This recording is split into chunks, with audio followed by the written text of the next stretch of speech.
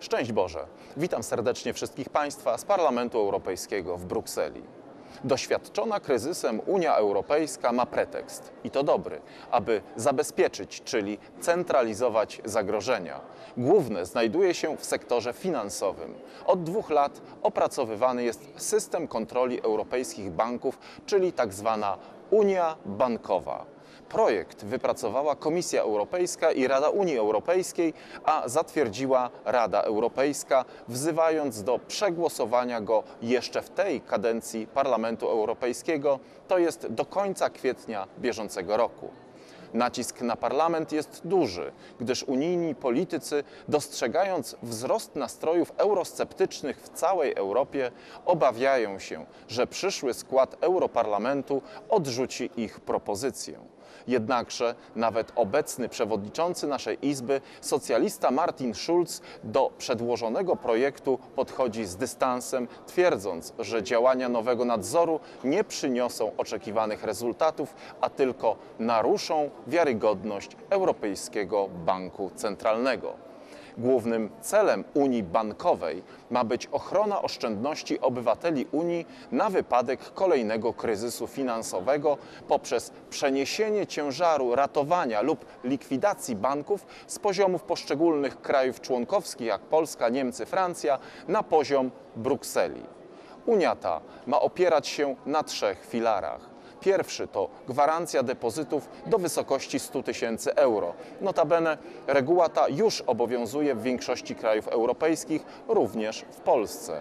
Drugi filar wzmacnia rolę Europejskiego Banku Centralnego, który nadzoruje już 330 banków. De facto nadzór ten dotyczy także Polski, bez względu na to, czy przystąpimy do Unii Bankowej, czy też nie, gdyż większość banków w naszym kraju ma swoje centrale w krajach strefy euro. Najwięcej emocji i kontrowersji budzi trzeci filar zakładający możliwość dokapitalizowania lub likwidacji banków znajdujących się na krawędzi bankructwa. Na ratowanie banków gromadzony będzie specjalny fundusz, na który składki płacić będą same banki. Niemcy nie zgodzili się, aby kompetencje decyzyjne w tym mechanizmie powierzyć Komisji Europejskiej, argumentując, że współdecydować muszą ministrowie finansów Unii Bankowej. Docelowo fundusz ratunkowy ma wynieść 55 miliardów euro, ale Niemcy odciągnęli w czasie na 10 lat termin zgromadzenia tych środków. Celem polityki niemieckiej jest maksymalne opóźnienie wypłat ze składek niemieckich banków na ratowanie sektora bankowego innych krajów Unii istnieje poważna obawa, że zanim mechanizm Unii Bankowej zacznie działać, wiele banków może już upaść. Z jednej strony finansiści wskazują, że zgromadzony fundusz w wysokości 55 miliardów euro, nawet przy dodaniu 500 miliardów euro z Europejskiego Mechanizmu Stabilności, może okazać się niewystarczający w perspektywie poważnego kryzysu.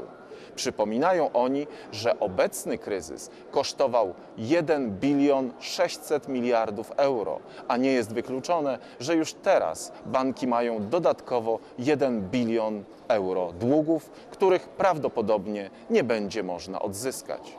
W takiej sytuacji z założenia powinien bardzo szybko reagować trzeci filar Unii Bankowej, czyli instytucja decydująca natychmiast o ratowaniu lub upadłości banku, aby nie dopuścić do wyprowadzenia kapitału bądź efektu domina. Decydować ma o tym tak zwany Single Resolution Board, czyli Rada Restrukturyzacji Banków, składająca się z przedstawicieli państw strefy euro, dyrektora oraz czterech stałych członków. Jej decyzję ma zatwierdzać Komisja Europejska, a w przypadku braku porozumienia ministrowie finansów krajów Unii Europejskiej.